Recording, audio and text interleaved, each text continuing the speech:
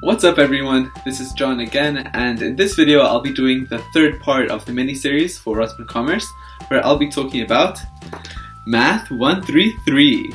So for those of you who don't know, this is a math course specifically targeted to Rotman Commerce students, as it has the name Calculus and Linear Algebra for Commerce. So unlike the other courses I talked about in my mini-series, this was a full year course, which meant that it covered both first semester and second semester, so it was the longest one I had in my first year, and the professor I had for Math 133 was Cindy Blois.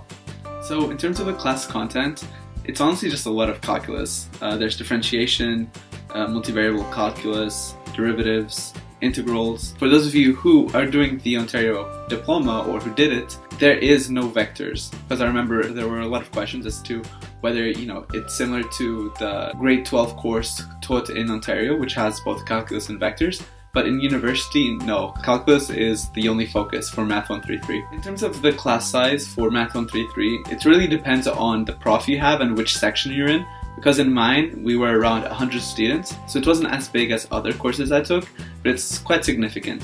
Regarding the different content that's taught in class for marks, this was the class that I had you know the most variety because there was a lot of different material that counted towards my final mark.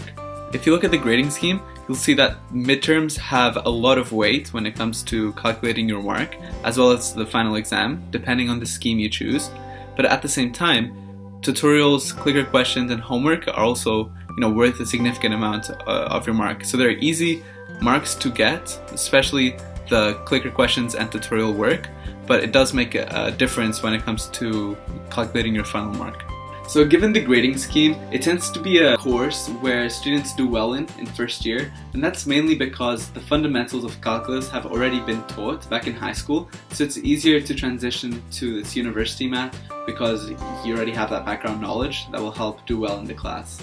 So for you to make it to second year of Rotman Commerce, the guaranteed admission requirement for Math 133 is at 67%. And like I previously said, it's very doable to, to get that mark uh, if you put in the work. And honestly, if you recall things from high school, you know, it will spark when you when you take the course and you, you will just get used to it. So I think it's very easy to adjust to the Math 133 curriculum. You may be wondering, where does the homework mark come from when we looked at the grading scheme, that 10%? And the answer is Wiley Plus. It's the same one that RSM 100 uses, and in math it's used mainly for the homework. So you'll get weekly homework assignments and you fill them out, and you have a lot of attempts, usually 15. So it's easy to get 100% if, if you do it and try different methods until you get the right answer. In terms of the textbook, the textbook is also on Wiley. So by buying the Wiley edition, you'll have access to the online textbook.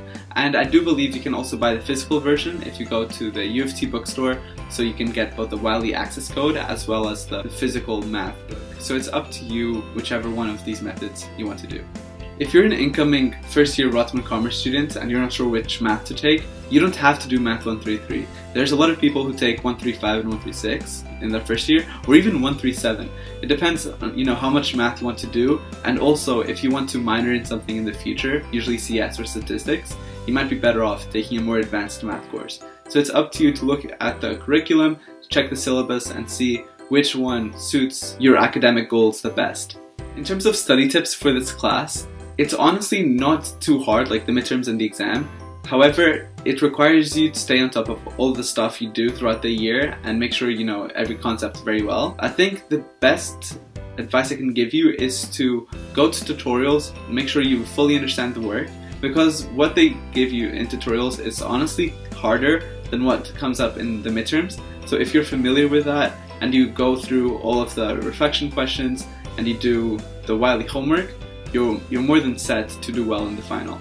Plus, there's a lot of office hours you can go to and the Math Learning Center. So there's a lot of resources that U of T provides to make sure you do well in Math 133. So that's about it that I have to say about Math 133. Uh, I hope you enjoyed this video, like the others in the mini-series. If there's anything you know you want to address specifically and you'd like me to answer, please let me know in the comments below.